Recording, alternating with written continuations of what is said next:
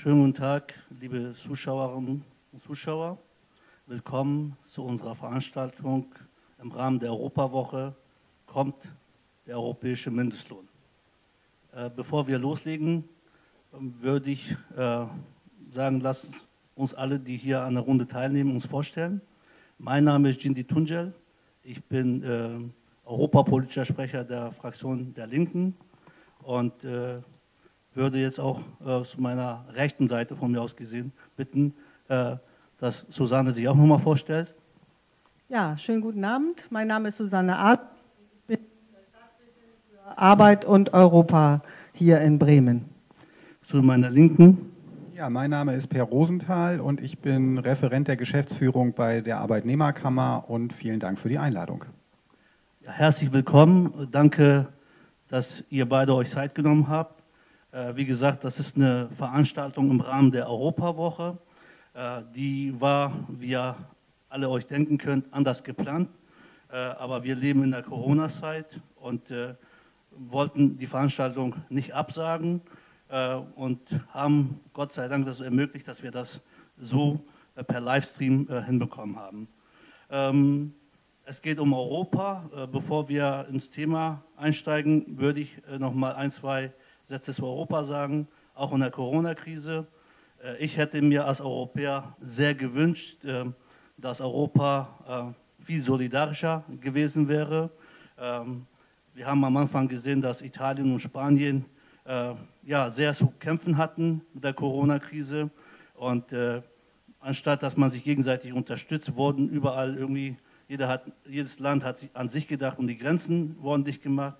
Es gibt noch andere Themen, beispielsweise auch Flüchtlinge, wie die europäischen Länder damit umgehen, äh, dass man nicht mal hinbekommen hat, diese 1500 äh, unbegleitete Kinder und Jugendliche äh, in Europa unterzubringen.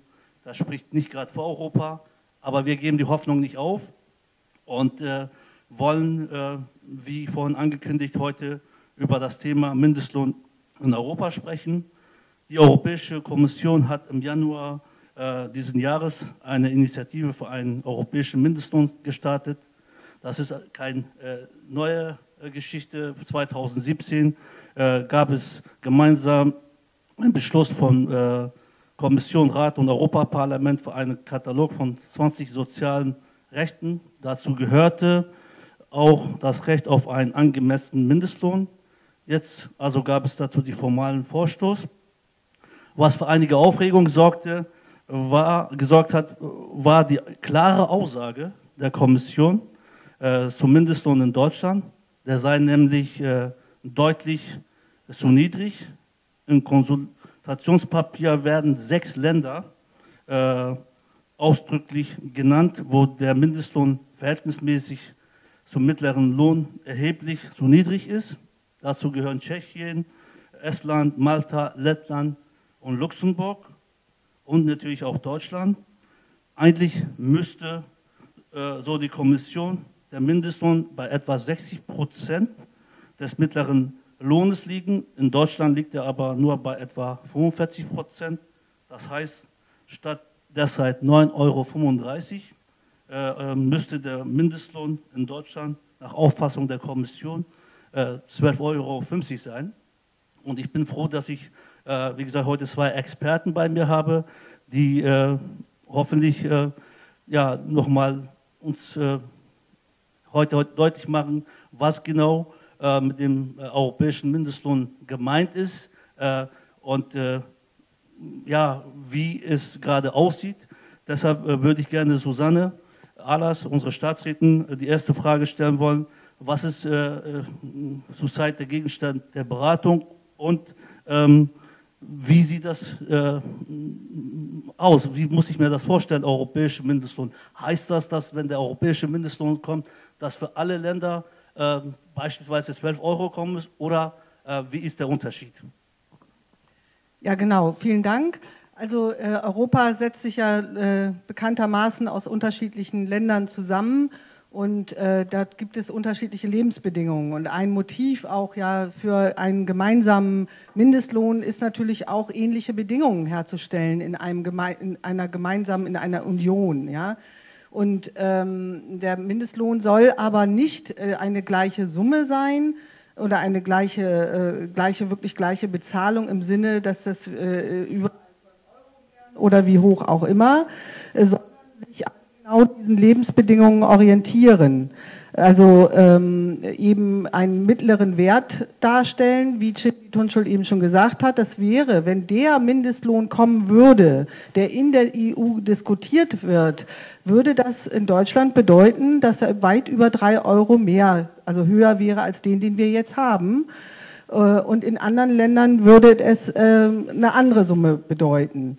Ich denke, wichtig ist, dass man von dem Mindestlohn leben können muss, ohne zusätzliche ähm, äh, Leistungen zu brauchen. Also dass man Vollzeitarbeit in der Lage ist, an Leben teilzunehmen und sich selber zu ernähren.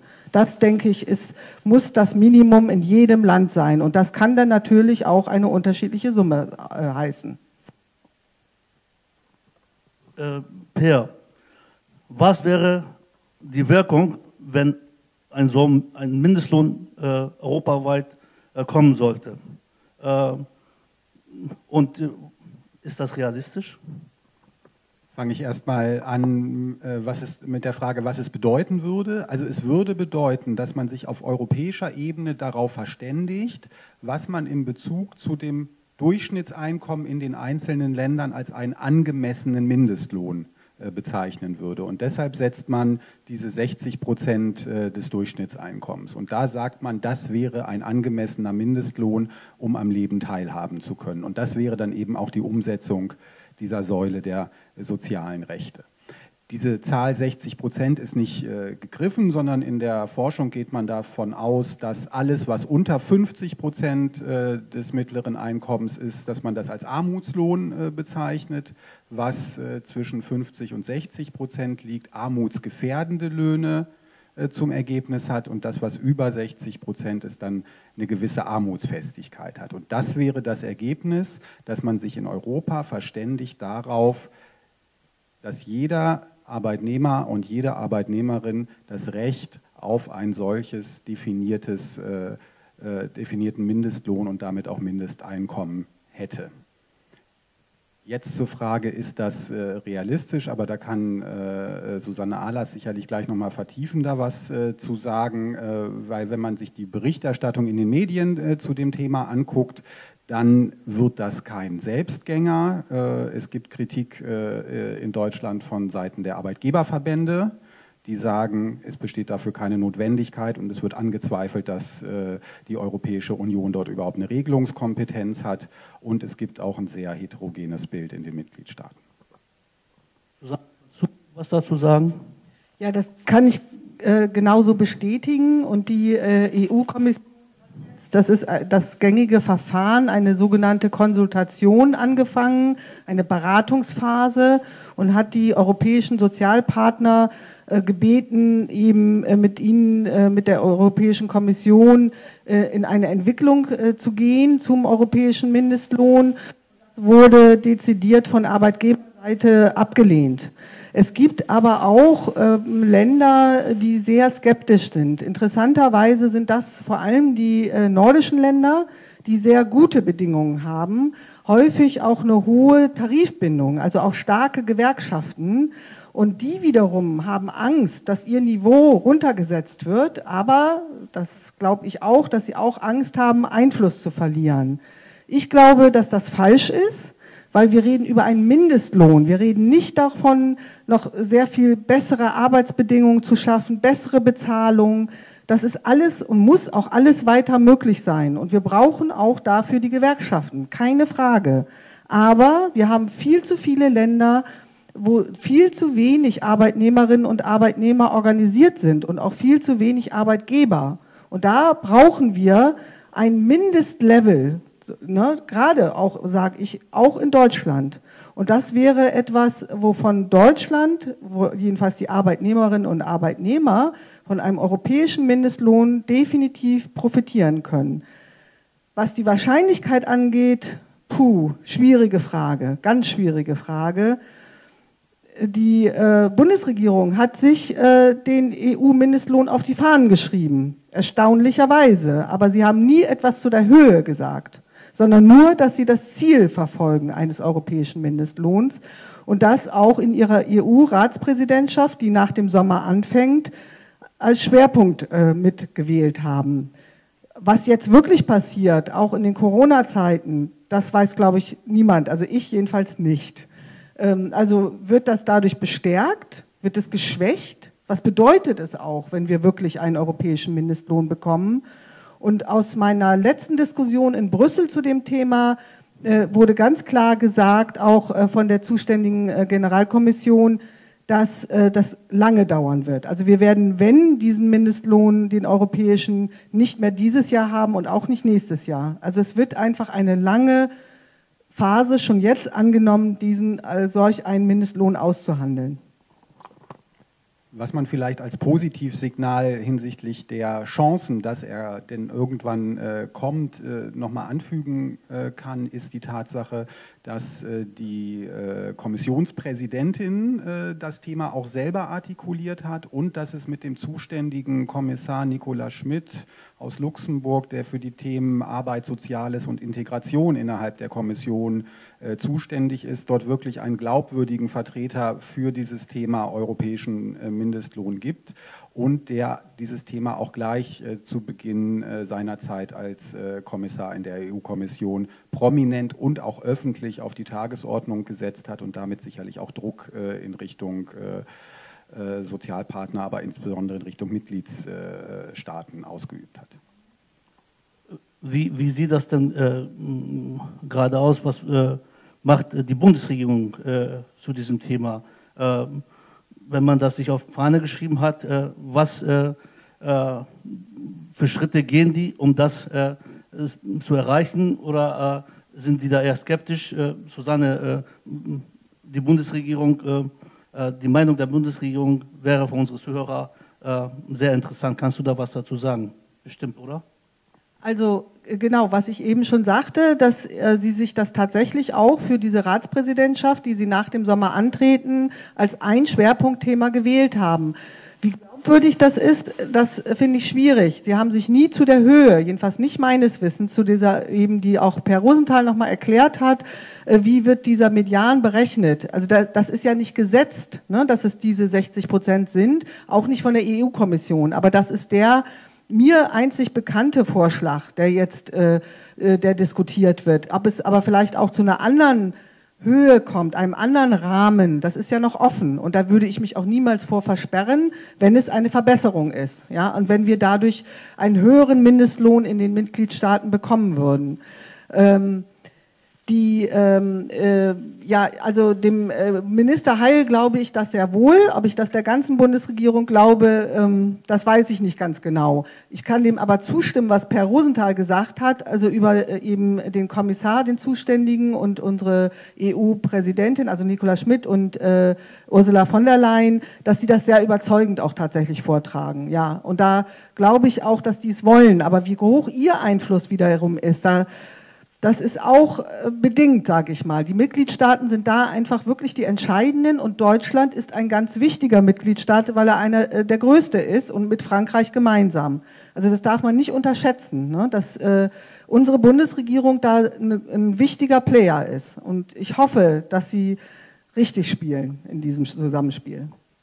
Und ich glaube, erschwerend kommt auch noch hinzu, dass die Europäische Union im Bereich der Sozial- und Arbeitsmarktpolitik auch unter Legitimationsdruck äh, steht. Also äh, in der Einleitung ist auf die Frage der europäischen Solidarität in Bezug auf die Bewältigung äh, der Corona-Krise äh, hingewiesen äh, worden. Und die Suchprozesse in der Sozialpolitik auf EU-Ebene dauern jetzt schon ein paar Jahre, um auch mal so ein Aushängeprojekt äh, nach vorne äh, zu schieben. Insbesondere im Zuge der Auswirkungen der Finanz- äh, und Währungskrise 2008, 2009 ist ja gerade das Vertrauen in die EU als sozialpolitischer Akteur hat, hat auch Schaden genommen. Deshalb gab es vor ein paar Jahren den Anstoß zu einer europäischen Arbeitslosenversicherung und ich würde auch diese Debatte um den europäischen Mindestlohn als Versuch interpretier, äh, interpretieren, der EU auch äh, sozialpolitische äh, sozialpolitisches Gewicht, um nicht zu sagen Glaubwürdigkeit zuschreiben zu wollen. Wenn ich das vielleicht noch ergänzen darf, es ist ja sogar durch die Politik während der Finanzkrise passiert, dass in Griechenland der Mindestlohn gesunken ist. Also das heißt, äh, dass die Politik der EU dazu geführt hat, eben, eine, dass äh, ein Mindestlohn noch geringer wird, als er vorher schon war. Und dass ähm, bisher die EU nicht dadurch aufgefallen ist. Das muss man ja auch wirklich ehrlich sagen, äh, dass sie dazu beigetragen hätte, Sozialstandards in den Mitgliedstaaten zu steigern.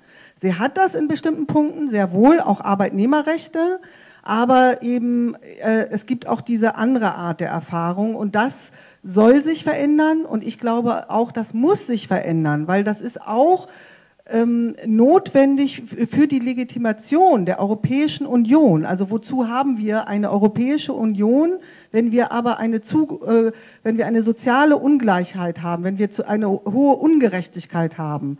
Dann äh, sinkt die Anerkennung, die Akzeptanz.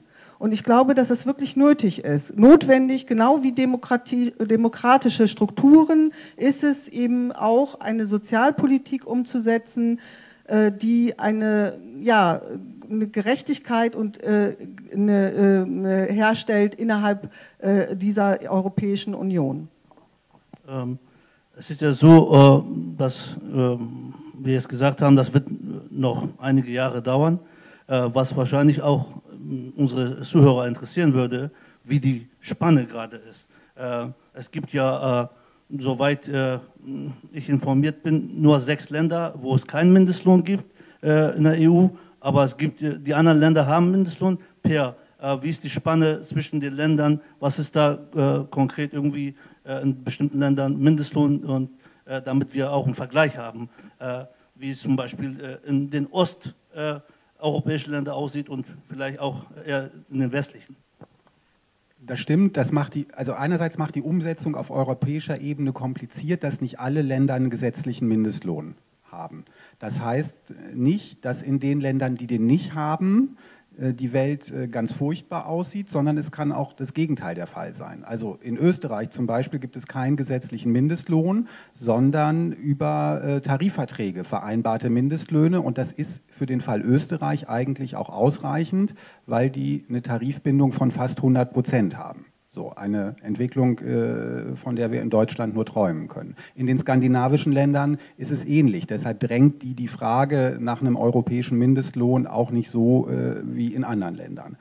Jetzt zu dem Punkt, wie groß ist die Spannbreite? Wir haben eine enorme Spannbreite von unter 2 Euro Mindestlohn in Bulgarien bis über 12 Euro Mindestlohn in Luxemburg. Also sozusagen eine, eine, eine, Differenz von 10 Euro zwischen dem höchsten und dem niedrigsten Mindestlohn. Deshalb kommt ja auch niemand auf die Idee zu sagen, wir brauchen einen Fixbetrag für einen europäischen Mindestlohn, sondern wir müssen einen Mindestlohn definieren, der einen Bezug hat zu der Einkommenssituation in den Mitgliedstaaten. Und dann besteht aber durchaus die Hoffnung, dass es in vielen Ländern Nachholprozesse bei der Entwicklung der gesetzlichen Mindestlöhne geben wird. auch noch mal auf ein Argument eingehen darf, was äh, also ein Gegenargument, was ja immer wieder, ich kenne es ausschließlich von Arbeitgeberseite kommt, äh, dass Arbeitsplätze vernichtet werden würden bei Einführung eines Mindestlohns. Äh, viele von äh, äh, uns können sich ja auch noch daran erinnern, als in Deutschland der Mindestlohn eingeführt wurde, war das auch immer das Gegenargument. Es würden dadurch Arbeitsplätze vernichtet werden. Das ist nicht eingetreten.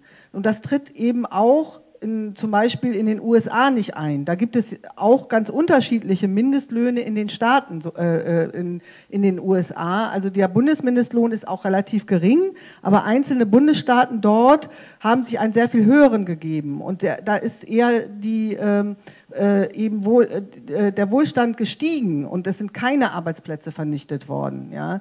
Also das darf man ja auch nicht vergessen, äh, dass wenn Menschen mehr verdienen, geben sie auch mehr aus, sie konsumieren. Also das heißt, unsere Wirtschaft entwickelt sich dann auch weiter. Ja? Also es ist kein Stillstand und keine Zerstörung von Arbeitsplätzen. Äh, davon bin ich fest überzeugt und es gibt auch keinen Beweis dafür, aber es wird immer wieder angeführt und auch jetzt in der Diskussion um den europäischen Mindestlohn von der Arbeitgeberseite wieder, auch äh, von unseren Arbeitgeberverbänden in Deutschland im Übrigen, wird das auch angeführt als Argument. Und das ist einfach falsch. Ja. Also äh, ich habe ja äh, am Anfang gesagt, was mich auch nochmal interessiert, ähm, äh, Deutschland ist ja das größte Land in der EU. Ähm, Deutschland ähm, du hast es eben auch erwähnt, äh, es hat ja jahrelang äh, einen Kampf gegeben, bis man hier in Deutschland Mindestlohn äh, endlich erkämpft hat, regelrecht erkämpft hat oder erkämpfen musste. und ich finde, wenn, wenn dann Deutschland nur 45 Prozent von Mittellohn sozusagen an Mindestlohn zahlt, ist das für ein Land, der dann irgendwie die Ratspräsidentschaft übernimmt ähm, und dann irgendwie dafür kämpfen will, äh, dass der Mindestlohn kommt, äh, ja, da kann man doch sehr zweifeln, äh, Susanne. Oder Per. Ja, beide, erst, äh, Per und dann Susanne. Ja, also äh, das ist ja sozusagen die Herausforderung für die Bundesregierung, wie sie äh, mit äh, diesem Widerspruch äh, dann umgehen äh, möchte. Wenn man sich nochmal an die Geschichte der Einführung des Mindestlohns in Deutschland erinnert, war das ja eine jahrelange äh, Diskussion und ein sehr strittiges Thema, zumindest im politischen Raum. Wenn man sich zu der Zeit äh, schon Umfragen in der Bevölkerung angeguckt hat, gab es immer eine übergroße Mehrheit für die Einführung eines gesetzlichen Mindestlohns und er ist dann mit Verspätung eingeführt worden und er ist dann erstmal auf einem Niveau eingeführt worden, wo man sagen würde, vorsichtig. Also ich glaube, es hatten auch alle Angst, dass dann vielleicht doch die Effekte eintreten, die nicht eingetreten sind hinsichtlich des Arbeitsplatzverlustes.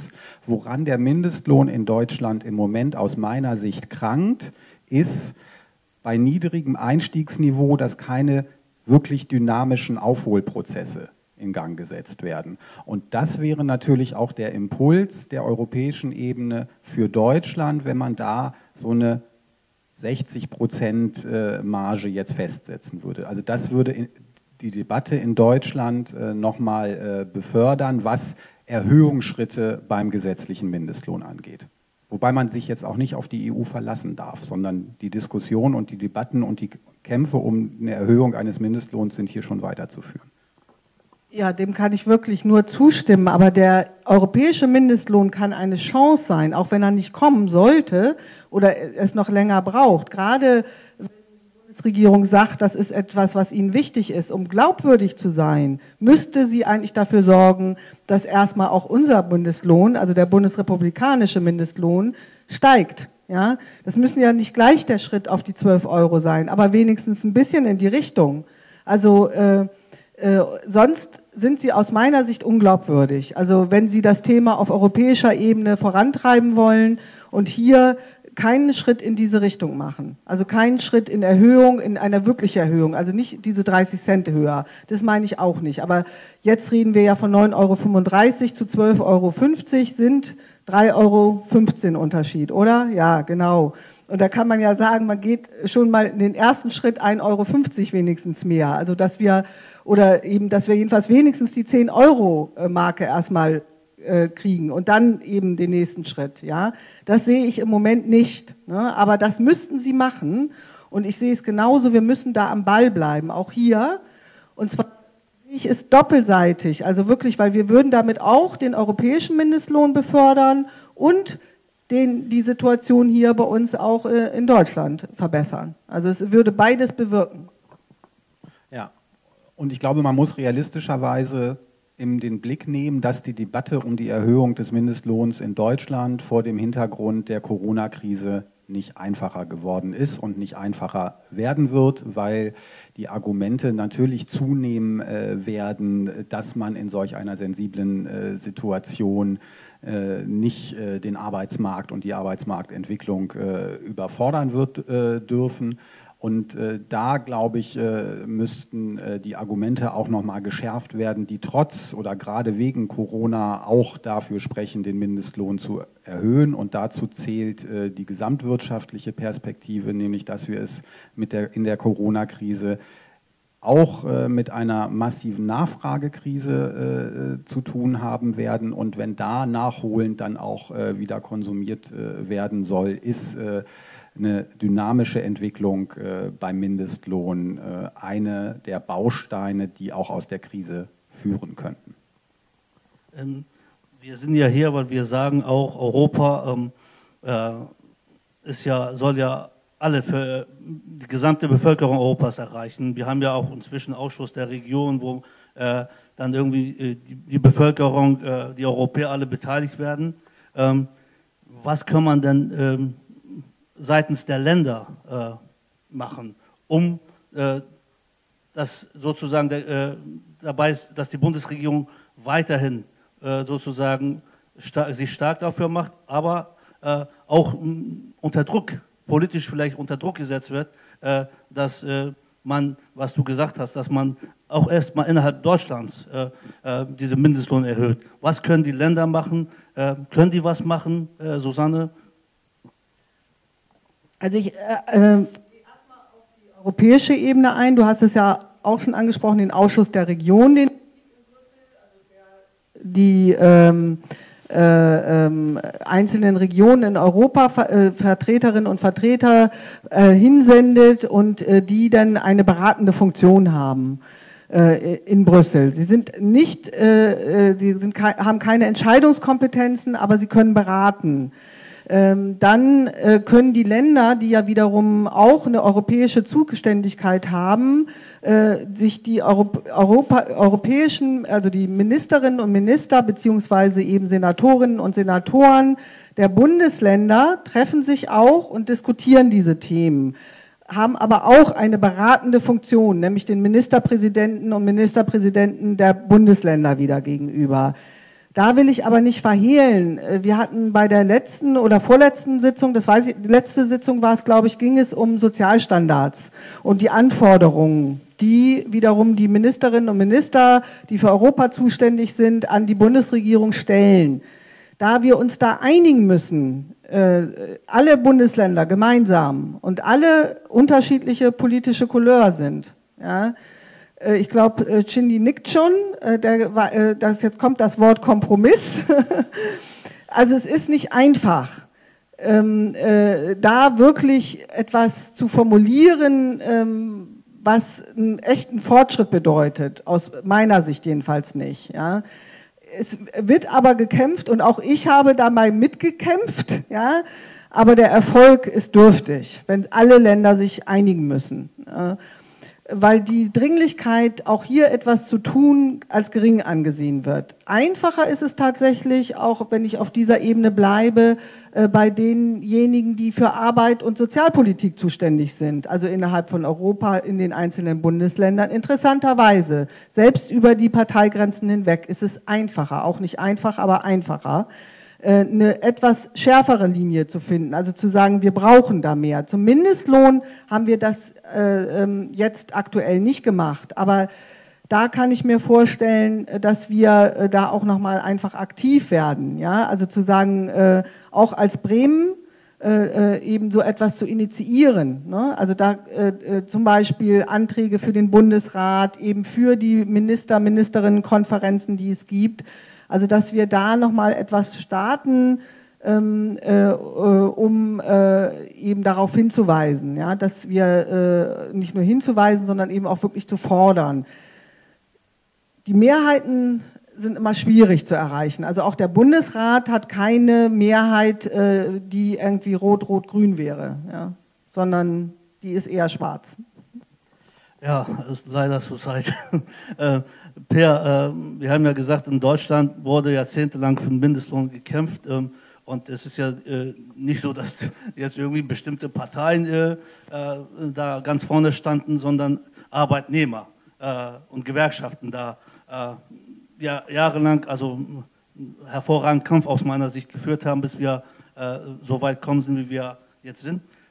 was können, kann die Arbeitnehmerseite bezüglich des europäischen Mindestlohns äh, tun, äh, um, wie gesagt, das weiterhin äh, dafür zu sorgen, dass es Thema bleibt und dass es vielleicht nicht vier, fünf Jahre dauert, vielleicht nur drei Jahre dauert. Also ich würde, ich würde mir wünschen, dass diese Idee eines europäischen Mindestlohnes, dass die Idee eines europäischen Mindestlohnes äh, von, äh, von Seiten der Gewerkschaften breit aufgegriffen äh, wird, was die Zielrichtung angeht. Dass man, glaube ich, auch nochmal in den Austausch äh, gehen sollte, dass nämlich die äh, äh, Arbeitnehmervertreterinnen und Vertreter aus Ländern, wo ein Mindestlohn jetzt nicht so zuvorderst auf der Tagesordnung stehen muss, dass die keine Angst haben müssen, weil die Gefahr sehe ich wirklich nicht, dass da gute bestehende tarifliche Mindestlöhne gegebenenfalls nach unten gezogen äh, äh, werden würden. Und ich glaube, das Dafür muss man dann einen klugen Mechanismus finden, was die genaue Festlegung des nationalen Mindestlohns auch unter so einer EU-Vorgabe angeht, dass man auf die eingespielten Mitbestimmungsmöglichkeiten der Sozialpartner beim Finden eines Mindestlohns Rücksicht wird nehmen müssen, weil ansonsten ist das auch glaube ich, zum Scheitern verurteilt. Also sozusagen jetzt einfach nur zu sagen, ab morgen macht ihr 60 Prozent, das ist äh, zu wenig, sondern es muss Beteiligungsrechte der Sozialpartner in den einzelnen äh, Nationalstaaten noch geben müssen, weil ansonsten wird man auch an der Stelle die Akzeptanz, glaube ich, verlieren. Ja, wenn ich das noch äh, ergänzen darf, was ich auch glaube, ist, dass äh, die Angst genommen werden muss, äh, dass die EU zu viel zu sagen hat. Also dass äh, die, ähm, das geht in eine ähnliche Richtung, aber nicht nur in Bezug auf Gewerkschaften, also Sozialpartner, äh, sondern auch in Bezug auf die Mitgliedstaaten und die Regierungen dort. Also dass da ja auch eine Sorge ist, dass die EU sich in Themen einmischt, in die sie sich de facto jetzt ja auch nicht einmischen darf. Ne? Und ich glaube, das muss auch klargestellt werden. Also dass dass kein äh, eine, ähm, eine Übernahme ist durch die EU. Und das ist gerade deswegen auch bei einigen eigentlich fortschrittlichen Kräften befürchtet, äh, wird es befürchtet, äh, weil äh, dass es dann zu einem Dumping führt. Ich glaube auch vollkommen unberechtigt, aber diese Furcht ist da und die muss man eben auch ernst nehmen und bearbeiten. Und was ich noch ergänzen will, es gibt ja durchaus auch Gewerkschaften, gerade eben in, in was ich anfangs sagte, auch in den nordischen Ländern, äh, die dagegen sind, aber äh, der DGB nicht in Deutschland. Und der könnte, also der ist für diesen europäischen Mindestlohn. Und soweit ich weiß, tut er das auch. Und ich bin ja natürlich die Letzte, die jetzt dem DGB irgendwas vorschreiben kann und will. Äh, aber ich glaube, der DGB macht auch schon Lobbyarbeit in Brüssel, also für den europäischen Mindestlohn. Ja, also die setzen sich dafür ein, dass der kommt. Und ich denke, dass sie dabei auch auf ihre äh, Schwestergewerkschaften äh, in die, genau diesen nordischen Ländern, also skandinavischen Ländern, ähm, einwirken werden. Das ist jedenfalls meine Hoffnung, dass sie das tun. Und äh, eben, aber es ist auch wichtig, dass die EU-Kommission äh, tatsächlich etwas vorlegt, äh, was auf diese Bedenken eingeht. Also und auch gegebenenfalls auf eine, wie man auch eine Beteiligung organisieren kann. Und äh, ich bin da aber ganz frohen Mutes, dass Sie das auch tun werden, weil ich äh, eben auch glaube, dass Sie schon Erfolgsdruck haben und dass Sie auch was erreichen möchten. Ich meine, wir haben, es gab ja viele Themen, wo äh, die EU-Kommission, Europaparlament, äh, ja, äh, gesagt hat, das müssen wir machen. Und äh, letztendlich war das dann so, äh, ich habe ja am Anfang auch nochmal gesagt, wie die einzelnen EU-Ländern äh, äh, ja, in bestimmten Bereichen zu bestimmten Themen dann reagiert haben, hat, wenn, wenn ein so großes Land wie Deutschland oder Frankreich, wenn die ja wirklich äh, äh, nicht ernsthaft sich dafür einsetzen, äh, kann man da überhaupt äh, was erreichen? ich glaube, was ich damit sagen will, ist, dass Europaparlament, Europakommission, die haben wirklich immer gute Ideen. Äh, und oft scheitert an, es an, an, die Länder und an die Großländer. Ähm, äh, ich will jetzt nicht sagen, dass äh, sie da äh, nichts machen können, aber in Vergangenheit war das wirklich so, dass oft, äh, wenn es darauf ankam, die großen Länder äh, da Sagen hatten. Ähm, wie siehst du das? Ja, das kann ich leider nur bestätigen. Und als ich jetzt einmal in Brüssel war und Gespräche geführt habe, und da ging es auch unter anderem um den Mindestlohn, aber auch noch andere soziale äh, Anliegen. Äh, da sagte mir, ähm, äh, der, ich glaube, der Generalsekretär war es, äh, das sollte ich doch alles mal zu meiner Bundesregierung sagen und nicht zu ihm. und und ähm, also dass äh, der auch noch mal ganz klar sagte, dass häufig die Deutschen der Hemmschuh sind, also dass sie Sachen verhindern. Das äh, können wir, äh, also die Bundesregierung, nicht die Deutschen als solche natürlich. Ähm, und ähm, äh, das, äh, ähm, da können wir hier in der Bundesrepublik politisch aktiv sein, versuchen das zu beeinflussen, anders zu wählen, all diese Dinge, ja. Aber das ist richtig, äh, ähm, äh, dass äh, tatsächlich, ähm, wenn man nach Brüssel kommt ähm, und die, die wirklich soziale Politik machen wollen, da ist man, äh, wenn man aus Deutschland kommt, nicht unbedingt gut angesehen. Ja? Also weil wir da, also die, die deutsche Bundesregierung, da wird man natürlich mit in einen Topf geworfen, ähm, als die Verhinderer äh, wahrgenommen wird, wird eben tatsächlich. Aber auch hier ändert sich immer etwas. Das dürfen wir nicht vergessen. Du hast selber erwähnt, 2017 war schon der europäische Mindestlohn Thema, aber er ist es schon ganz lange. Also wirklich immer wieder. Also ich weiß jetzt keine Jahreszahl, aber ich weiß, dass er schon ganz, ganz lange diskutiert wird. Und jetzt ist er wirklich auf der Agenda. Also Dinge dauern und äh, sie bewegen sich auch. Und ich kann mich noch erinnern an den deutschen Mindestlohn, also an die Diskussion so lange her und äh, an diese riesigen Widerstände, nicht in der Bevölkerung, aber eben auch in der Politik Übrigens am Anfang auch bei den Gewerkschaften, um mal äh, ehrlich zu bleiben. Die waren am Anfang nicht dafür. Also ähm, das ähm, und es hat sich geändert. Ja, also ich glaube schon, wenn wir am Ball bleiben, wenn wir aktiv bleiben, viele sich dafür einsetzen, dass sich auch was tut. Ja, dass sich dann auch was verändert.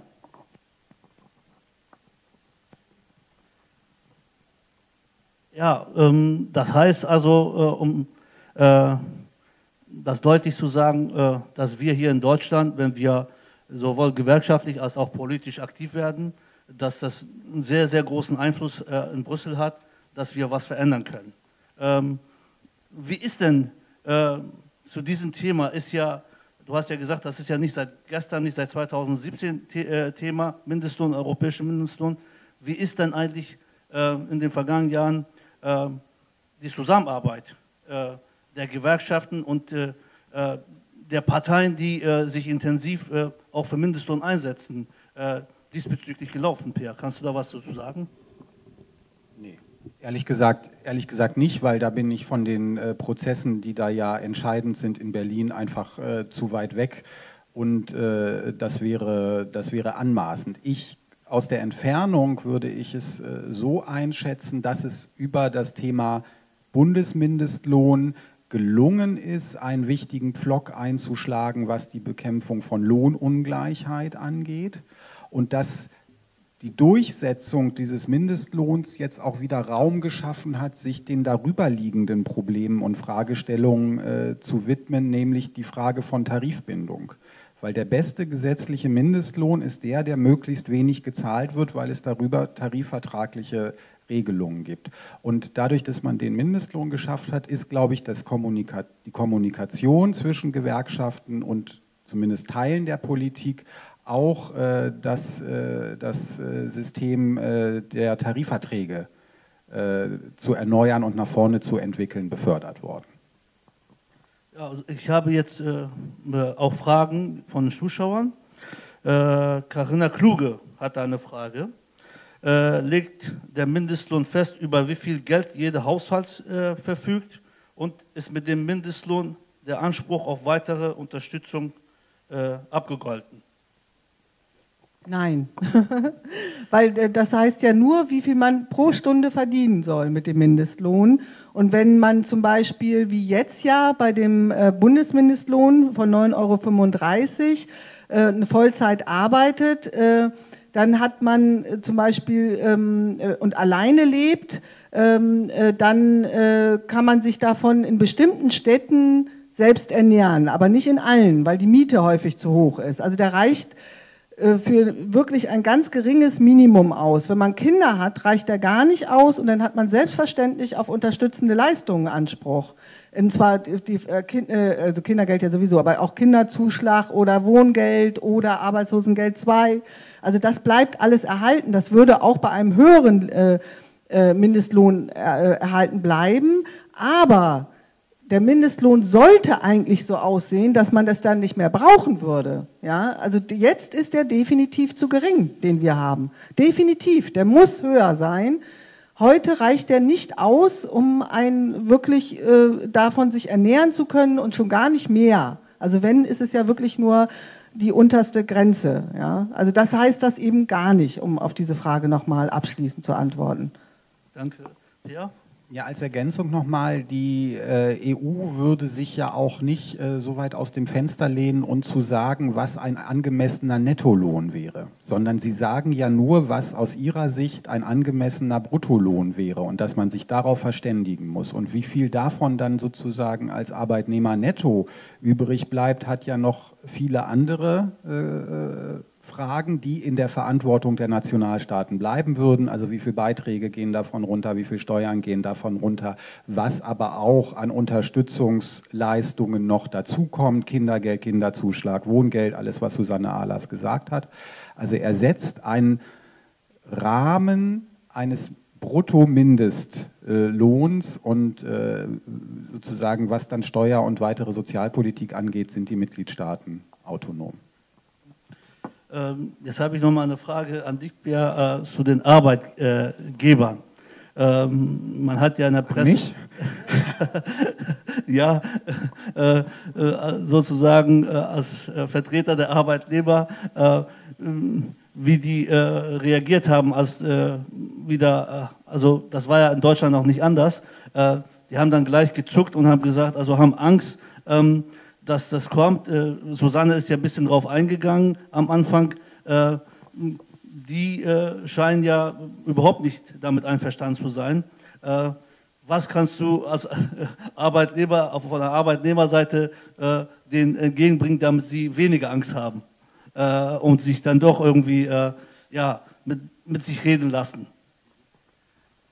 Also wenn man sich nochmal die Argumente vergegenwärtigt, die in der Debatte um den gesetzlichen Mindestlohn von Arbeitgeberseite eine Rolle gespielt haben, dann war das vor allen Dingen das Argument Arbeitsplatzverlust. Da würde ich sagen, die Erfahrung zeigt eindeutig, dass äh, das nicht der Fall äh, gewesen ist.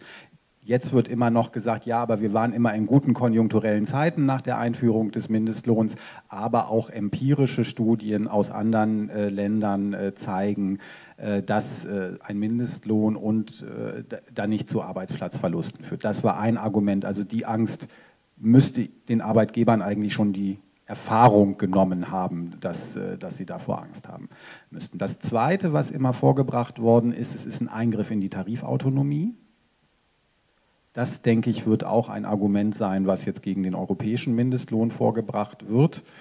Ich wundere mich an der Stelle immer, dass diejenigen zu den großen Verteidigern der Tarifautonomie äh, werden, die selbst immer für betriebliche Öffnungsklauseln plädiert haben, die Mitgliedschaften in ihren Verbänden zulassen äh, für Betriebe, die dann keinen Tarifvertrag äh, anwenden müssen. Also da würde ich mir dann wünschen, wenn man auf der einen Seite dann zu den Verteidigern der Tarifautonomie sich aufschwingt, dann auch an anderer Stelle mitzumachen und zum Beispiel solche Mitgliedschaften ohne Tarifbindung äh, dann auch äh, nicht mehr anzubieten und dann auch gesetzliche Vorstöße zu unterstützen, die tatsächlich dazu führen, dass die Tarifbindung äh, wieder äh, zunimmt.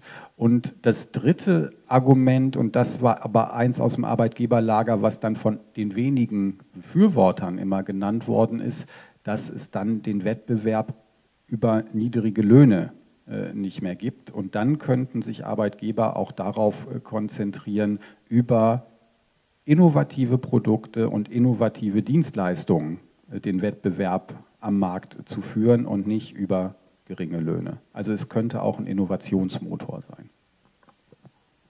Ja, genau, das ist ja auch ein Argument, was äh, ein ernsthaftes auch, äh, es gibt ja nicht nur die Arbeitgeber, ne, die sind auch heterogen und ähm, äh, die auch äh, wirklich für eine Tarifbindung eintreten, die auch genau das sagen. Ich will, dass alle Arbeitgeber Tariflöhne zahlen, äh, damit wir dann einen fairen Wettbewerb haben, der nicht über Löhne geht, sondern über tatsächlich äh, entweder Innovation oder auch die gute Leistung oder was auch immer, ja, oder die andere bessere Leistung und nicht darüber, dass äh, jemand anders den Auftrag gibt, äh, bekommt der Arbeitgeber wiederum äh, schlechter bezahlt. Ne? Also das äh, sind auch wenige, ne? das darf man auch nicht vergessen. Also es sind durchaus, gibt es ja Arbeitgeber, die Interesse haben an äh, äh, guten Arbeitsbedingungen für ihre Mitarbeitenden und auch guter Bezahlung. Wir sind ja in der Corona-Zeit, ähm, äh, habe ich ja am Anfang erwähnt. Äh, mich würde das ist jetzt vielleicht nicht direkt zum äh, Thema Mindestlohn, aber äh, mich würde auch noch mal interessieren, ähm, was die Bundesregierung äh, und was die EU äh, an Hilfen äh, zur Verfügung gestellt hat, um Menschen, die jetzt ja die letzten zwei Monate nicht arbeiten konnten, es gibt ja Kurzarbeit ähm, in Deutschland, mich würde wirklich auch interessieren, ob ihr eventuell was dazu sagen könnt, wie es in anderen europäischen Ländern aussieht. Also ich kann was zur Kurzarbeit sagen, weil es mich auch äh, etwas ist, ähm, äh, was mich sehr bewegt. Also wir haben ja dieses Kurzarbeitergeld, was nur 60 Prozent bedeutet vom Einkommen, beziehungsweise 67 Prozent, wenn Kinder im Haushalt leben. Äh, und ich finde das definitiv zu wenig, insbesondere bei denen, und da kommen wir dann schon wieder auch ein bisschen auf das Thema Mindestlohn, also bei den Geringverdienenden. Ne? Also wenn man wenig verdient und dann von dem wenigen noch 40 Prozent weggenommen bekommt, äh, dann reicht das definitiv nicht aus. Und ähm, da gibt es äh, zum Beispiel Österreich, die das ganz anders lösen und ich finde sehr viel besser. Und da haben wir auch hier aus Bremen wirklich mehrere Vorstöße gemacht. Aber ähm, die Österreicher machen es so, dass bis zu einem bestimmten Bruttoeinkommen, ich glaube 1700 Euro sind es so roundabout, äh, bezahlen sie 90 Prozent Kurzarbeitergeld. Und dann äh, staffeln sie es runter. Umso mehr man verdient, umso weniger Kurzarbeitergeld kriegt man, aber immer noch äh, äh letztendlich 80 Prozent, also weitaus mehr als in Deutschland. Das finde ich fairer, auch rechter verteilt, als wir das hier machen. Und jetzt gibt noch äh, eine kleine Verbesserung, dass man nach vier Monaten 70 Prozent kriegt und dann nach äh, sieben Monaten 80 äh, Prozent. Das finde ich aber vollkommen unzureichend. Das ist unabhängig, wie viel man verdient, sondern nur nach der Zeit geht es, dass man dann mehr Geld bekommt. Ach, dann ist man, hat man seine Wohnung schon verloren oder sonst etwas ist passiert äh, und dann gibt es ein bisschen mehr Geld. Das hilft überhaupt nicht. Das Gegenargument natürlich von der Bundesregierung, die können alle zum Jobcenter gehen und es gibt vereinfachte Möglichkeiten. Das ist richtig. Das stimmt. Aber nur auf diesem Niveau und natürlich das Einkommen angerechnet und auch das Einkommen vom Partner oder Partnerin. Das kann schnell mal zu viel sein, dieses Einkommen, sodass man nichts kriegt. Ja?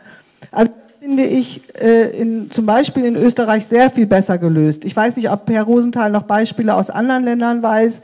Ähm, also ich kenne jetzt nur so ein positives, äh, was für mich auch einen Vorbildcharakter hat ähm, äh, und deswegen ähm, ist. Ja.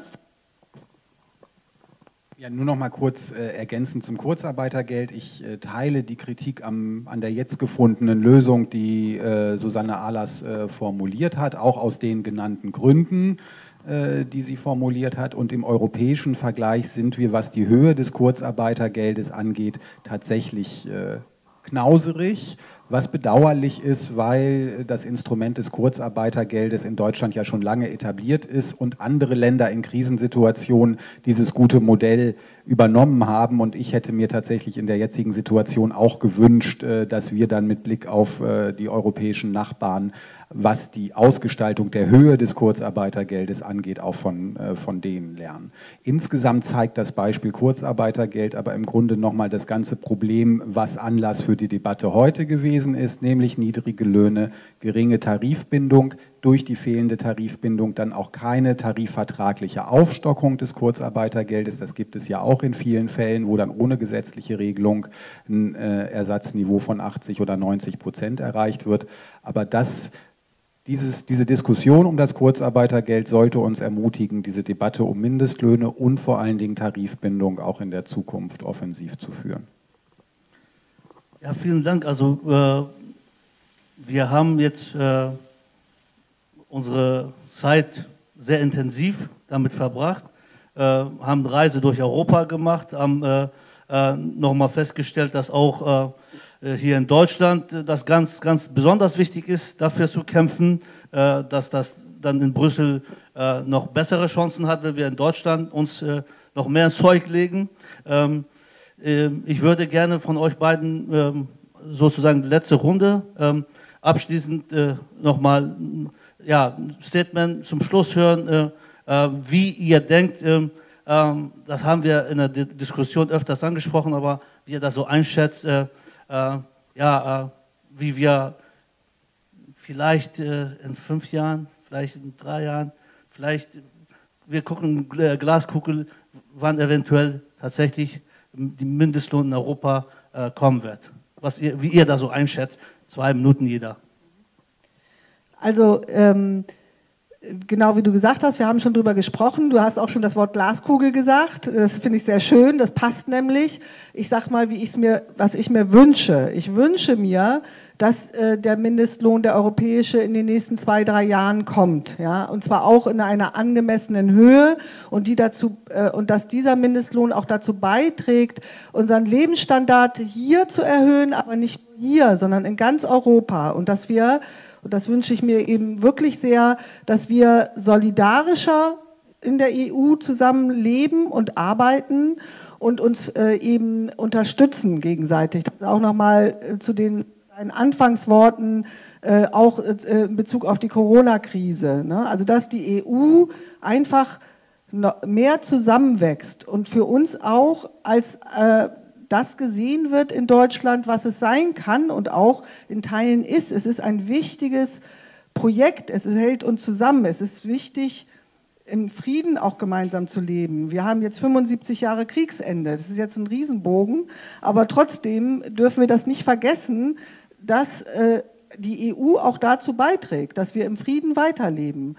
Und da es ja mein Abschlusswort ist, möchte ich noch äh, gerne in eigener Sache so ein bisschen Werbung machen, nämlich für unsere Europawoche. Cindy Tunschel hat es am Anfang auch angesprochen. Das ist die äh, Veranstaltung findet ja im Rahmen dieser Europawoche statt. Und ganz viele der Veranstaltungen äh, haben die Veranstalterinnen und Veranstalter tatsächlich auch geschafft, digital umzusetzen, wie auch äh, die äh, Linke. Äh, also vielen Dank an euch dafür und dafür, dass ihr mich dazu eingeladen habt, hier dabei sein zu dürfen. Ähm, aber wir als äh, zuständiges Ressort von Europa sind ja auch an dieser ganzen Veranstaltungsreihe beteiligt. Also wer von Ihnen euch noch andere Veranstaltungen vielleicht anschauen möchte, europa-für-bremen.de ist die richtige Seite dafür, noch andere Veranstaltungen zu finden. Also machen Sie es, macht ihr es und informiert euch auch über Europa und lasst euch auch hoffentlich über Europa unterhalten. Auch von unserer Seite wird noch etwas äh, kommen äh, im Netz äh, zu dieser Europawoche. Ja, hast du noch mal Abschlusswort? Wir sollten ja in die Glaskugel äh, gucken. Ähm, ich traue mir im Grunde kein richtiges, keine richtige Einschätzung zu. Ich würde raten, und zwar würde ich raten, dass der europäische Mindestlohn kommt, weil das Instrument, glaube ich, in der gesamten europäischen Bevölkerung Rückhalt hat, anders als mal bei anderen vorgeschlagenen sozialpolitischen Instrumenten. Und die spannende Frage sein, welche Übergangsfristen und welche Anpassungsmechanismen vorgesehen werden, bis wann man dann irgendwann die 60 Prozent erreicht. Und ich glaube, darauf gilt es äh, zu achten und den Prozess aus dem Grund eng zu begleiten, damit diese Phase nicht zu lang wird. Ich bedanke mich ganz, ganz herzlich äh, bei unserer Staatsrätin Susanne Ahlers. Vielen, vielen Dank, Per Rosenthal, dass wir heute gemeinsam diese Veranstaltung durchgeführt haben. Und äh, ich hoffe auch, dass wir als Europäer äh, mehr Solidarität zeigen, mehr zusammenhalten äh, und äh, füreinander da sein sollten und nicht Grenzen schließen. In diesem Sinne wünsche ich allen alles Gute, einen schönen Tag und zum Schluss möchte ich auch nochmal äh, den Mann hinter der Kamera äh, danken. Vielen, vielen Dank, Michael Horn. Das hast du wieder 100 Prozent gemacht. Dankeschön.